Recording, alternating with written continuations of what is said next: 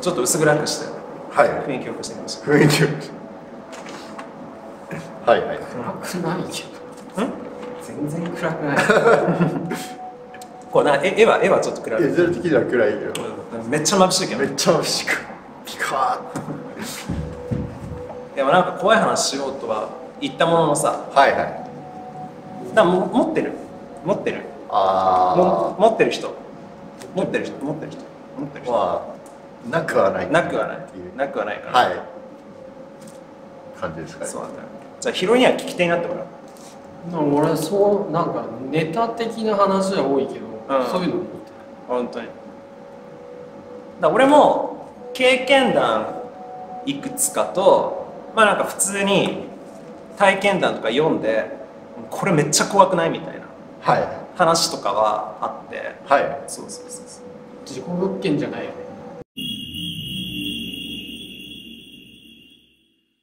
事故物件じゃないな。事故物件まあ流行りだからね。なんか事故物件系あればいいんだけどさ。はい。もうもう話したよ。は話をす。る ダベリの第1話で不動産屋さんのあそうメンバーにあはいはい。事故物件どうなんですどうなんですかっていうのありましたね。全然ないって言われて あのガチでグロい方とかしかないから。ああなるほどそうそう。っていうふうに言われて、はいそう一度も体験したことないって言われて。へえまあそうなのかな。でも大島テルとかでさうちの近所とか調べてもまあなんかまあ飛び降りが3件連続してあるよみたいな。あまあただすげえでかいマンションなの。あはいはい。団地みたいな。はい。十何階とかです。ああすげえ。まあそれは飛び降りて死ぬならここ選ぶよねみたいなはいはい。感じだから別になんかそこに霊的な何かがあるとかじゃないんだろうなみはい。たいな、か簡単に入れてはい。そう簡単に入れて簡単に屋上に行けて簡単に飛び降り降りれるからみたいなはい。はいニュアンスだと思うねあうん。ただ意外と少なかったんだよね大島テレで見た時も。事故物件でいざ自分がじゃあ探そうかってなった時に結構難しいっていうか何が？そのいい事故物件ないっすか？みたいなさ。あいい事故物件ないですそうそう。噂の事故物件ないっすかね？みたいなさ。それなんか1話で俺言わなかったっけ？なんだっけ？あ1話か2話か。あれその後になんか話したじゃん。話したっけ？なんかその1話でうん。大島テルっていううん。事故物件サイトがあるっていうのを知って、うんで俺の近所を探したらって話しなかっしたっけ？したっけ？たなんかさカメラ街でしたんじゃない？え？カメラ街でしたかもね。なんか、俺の住んでるマンションのまあワンブロックぐらい先はいはいはい。道路挟んであのマンションがバーあったんだけど大きな道路があってそのマンションの間にあの飛び降り自殺して挟まって死んだ。ああ多分ね録画はしてなかった。その話してうん。はいはいはいあのマンションとマンションの間に。間に落ちたはいいけど、ん。挟まってそのままあもう発見されずみたいな。発見されあてされて。なんか人が挟 挟ままってってって。死んでるっていうのがあのちょうどあった。はいはいはい。本当歩いて 3, 3秒と5秒ぐらいかな。っていう話。マジか。なんかその話さあの怖い話でめっちゃ有名な三木和尚って人がいるんだけど、い。その人もしてたかもしれない。その人が、まあ、そんな感じの物件、まあ、物件っていうかそういう事故のところのなんかこうあおはようじゃない、まあ、ご祈祷みたいなとこ行ったみたいな。そういう話だだから結構有名な事件かもねそれ。マジ？で川崎だよ川崎 めっちゃ言うじゃん。住所めっちゃ言うじゃん。普通になんかだから事故物件っていうそのマンション自体も事故。物件になっちゃっるっていうのが感じだうんそうだよね。なんか暗号室とかそうだよね。まあ怖いやまあめっちゃ怖いよねそれ。正直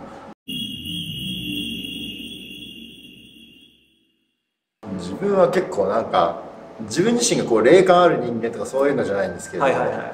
単純にこうそういう場の空気のところっていうのはかなり苦手で、うん。苦手興味本位っていうのはあったとしても単純に体質的に合わないんですよ。あで今までやべえなって思ったのが2個あっあて、え。で一つは多分お話ししたことあると思うんですよ、えーあの自分のバンドメンバーの塩の証言もはいいたんでボーカルのまあまあちょっと聞きたい。もう一回もう一回聞きたい。あの自分がこう今大学院生の修士生なんですけどその前の学生だった頃にこう夏休みとかにこう友人にこうドライブ行こうぜって誘ってもらってその友人の車でブーってその行ったわけなんですよね。こういろんなところを回る心霊スポットを回るみたいなのがあったんですけどその中でとびっきりやばかった場所がありまして、うん。あの富士山の青木ヶ原次回次回、うんうん。まあ、次回ですね。いわゆる。あれです。本当にやばくてあ家族で行った。あ家家族で行っうん。あの通り道でさ結構、はい。あの甲府とかに行く時にはい。バーッと通ったりして、ああなるほど。あそこ本当に怖いんであの夜になるとその青木ヶ原樹海のその周りのこう唯一こう舗装されてるコンクリートの道路があるんですけど、でもそこいくら走ってももう上がもう樹海の木々でこう屋根のように覆いかぶさってるので上も見えなければ周りはずっと木が続いてるのでもう走っても走ってもこう進んでる感覚がまずなくなってくるんですよ。あ方向感覚が結構まず狂っちゃう。まず方向感覚がねへで途中駐車場っていうほどではないんですけど、まあ、スペースがありまして、うんうん。そこに一回車止めて、え入り口のところ？なんかさ駐車スペースみたいのがあってそこから入りますみたいなあそこではないんです。そこじゃない。もう完全にもうぐねぐねぐねぐねそういう感じ一本道になりとました。でちょうどスペース的な本当にまだそこがコンクリートで舗装されてたかどうかはちょっと覚えてないですけど、まあ、そこに一回止めて、でもうその樹海の周りをテクテクテクテク歩いていくわけですよ。でうわー音音今音がしたねみたいな感じで。でなんかあのー、あーやっぱこう怖いな周りが暗いな怖えなってで歩いてたんですけど最後の方ででじゃあもう戻るかってなってその時に何人いたのかな？よ4人から6人いたのかな？で前に自分以外の、えー、と自分の後輩とかたちがこう歩いていたり同期の連中がこう歩いていたりしてでちょうど自分の隣その後ろその前にいる人たちの後ろから自分とその自分の先輩2人でこうテクテクテクテク歩いてたんですけどどうせならちょっと脅かそうぜってうん隣の先輩が言いましてちょっとちょっと驚かせてくるわって言ってタッタッターって一人で走って行っちゃったんですよ。ああああって思ってあの俺はもう疲れてるからいいやと思って歩いてたんですけど。一人残されたわけ。そうです。だからだから一応見見えてはいる。んですけど見えてるんですけど一人だけ取り残されてもう疲れてるからこう歩いていたんですよ。そそしたらそしたらコンクリート道路で、うん。その時に履いていたのがスニーカーだったんですけど、はいはいはい自分のちょうど右斜め後ろから、すっげえ硬いハイヒールに近い硬い音があカツカツカツカツカツってちょうどこっちから来るんですよえっって思ってもうえっってもう何も考えられなかったそっからひたすらガチでダッシュしてあ絶対自分じゃないもんね絶対自分スニーカーだからもう絶対自分じゃないです音が聞こえるとかじゃなくてこっちから近づいてくるんですよえっって思ってやばいって思ってでそれで家もまあそのまま家戻ってあそのまま戻らなかった。でそこまで行ってで次別のトンネルかな、うん。その別の場所のところ行ってトンネルとか行ったりしたんですよね。でいろいろ心霊スポットをこう回って一番怖かったそうなんですけどでそれ以外もトンネルとか回ってである日ちょうどいつ頃かなその昼か夜かは覚えてないんですけど自分の他組んでるそのバンドのそのボーカルの塩にこう連絡を入れてたんですね、うん。ちょうど。でこれこれこうでじゃあ次次回こう行きましょうかみたいな話とかあとなんか他にもたわいもない話とかしてたんですけど、ちょうど自分の寝ている布団があって隣に唯一その持ってる赤いストラトキャスターのギターをこう立てかけておいたんですけど、電話したらいきなりストラトキャスターからピーって弦が弾く音が聞こえてはっ。ななんか引っ掛けたからって最初。思ったんですよおかしいなって思って。塩塩兄貴が「今ギター鳴らした?」いや俺鳴らしてない」何かに当たった?」いや当たったかどうか分かんないんだけど1弦と2弦の間にピック挟んでるから鳴るわけないんだよね。ああなるほど。